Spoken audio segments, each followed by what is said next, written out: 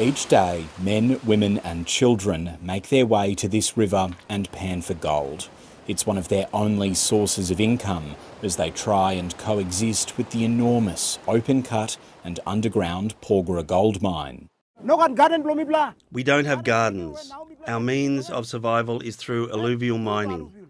Mothers, fathers, and even children go down to the river and pan for gold and earn 40 to $120.